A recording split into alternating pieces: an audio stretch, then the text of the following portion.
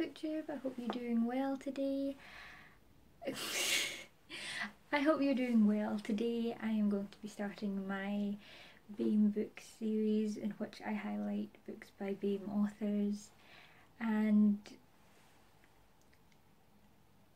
the article that prompted this entire series was about the fact that only 1% of main characters in children's books were BAME and for those who don't know that means black, Asian or other minority ethnic groups.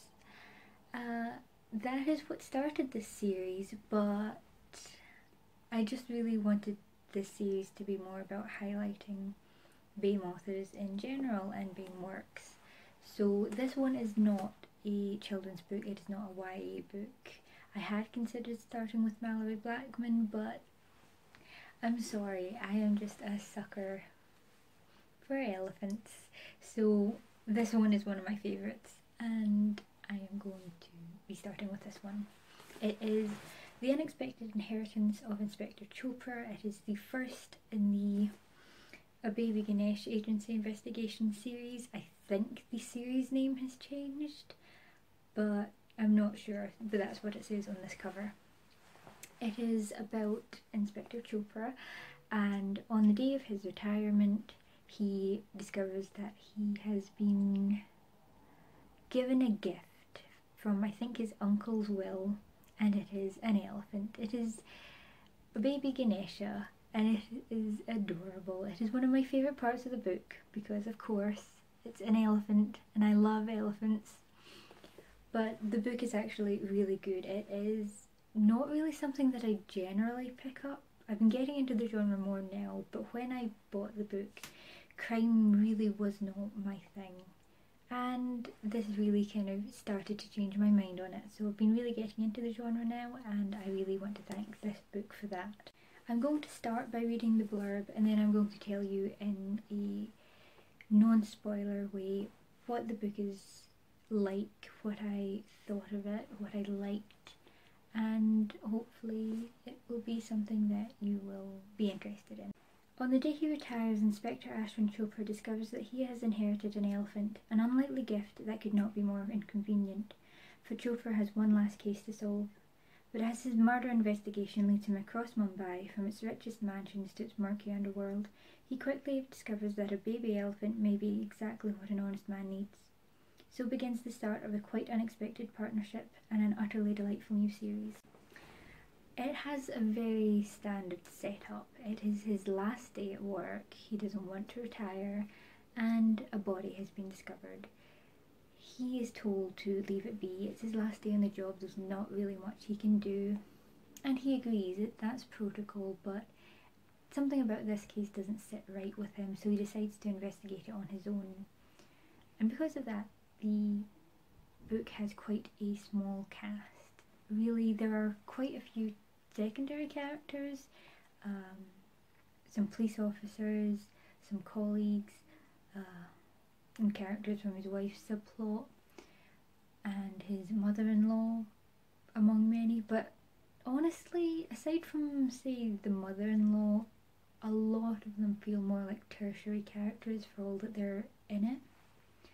And I don't mind that. I don't mind small casts, and because I like characters but I really like characters done well and I feel like he and his wife Poppy are done well. I feel like even though Uncle Bansi does not get much of a role, he is important not just for not just for bequeathing the elephant but also for his role in Chopra's life.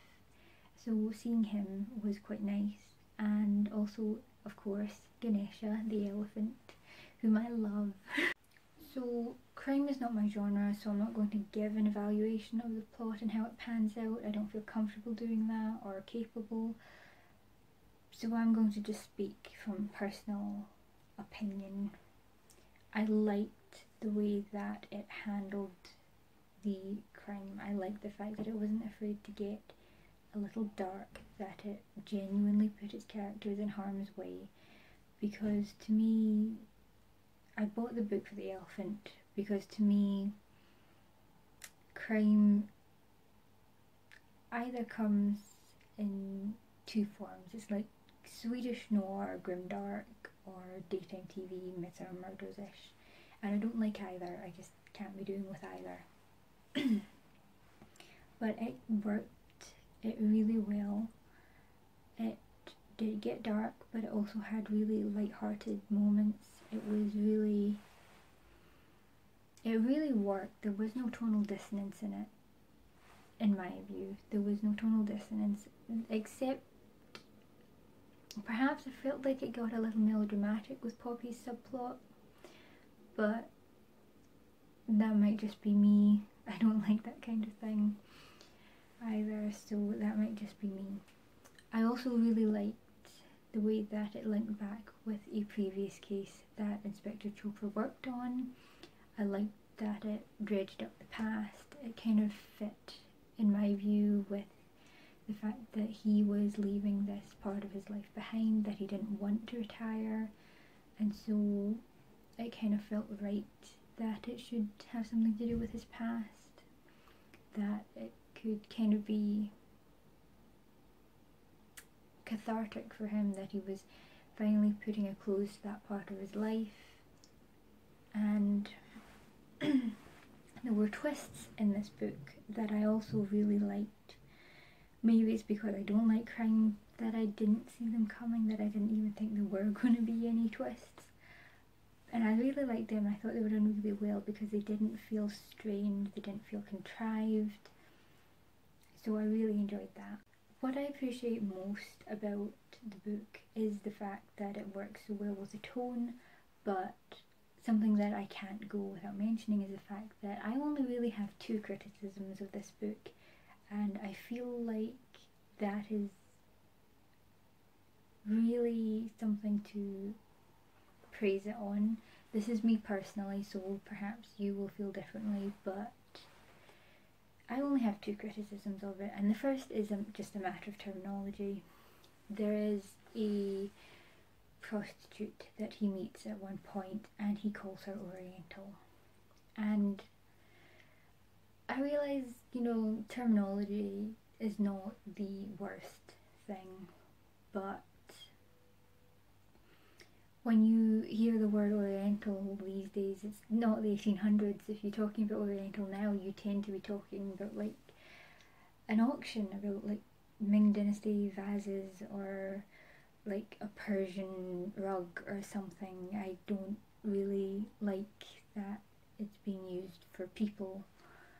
But that is, of course, just me. It just makes me a wee bit uncomfortable. And the second thing is, of course, as I mentioned earlier, Poppy's subplot. It has to do with not having kids. And I just really wanted to scream at them during all of it. It was it was melodramatic and I didn't like that, but I also really did not like the fact that they didn't try to adopt. They couldn't have kids and she said that she thought about adoption and he seemed to shut down every time that came up. And maybe this is something that's going to be dealt with in later books, but it just really frustrated me. As an adoptee myself, I just really couldn't get past that. I just thought, you didn't even try. You didn't even try. I don't know, maybe there's something cultural about it. But I don't know. I just couldn't get past that overall I think it is a really good book. I would definitely recommend it if you like me like that sweet spot between grimdark and daytime TV serial because that's where I feel it fits. I also think if you are trying to get into crime or you want to just give it a go, this is also a really good book for that.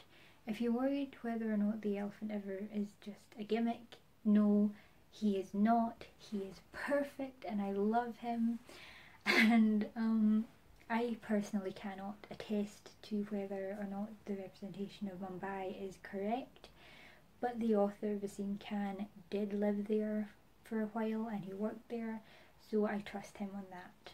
So that is the unexpected inheritance of Inspector Chopra. If you think it sounds fun or if it's your genre, I would definitely re recommend that you check it out.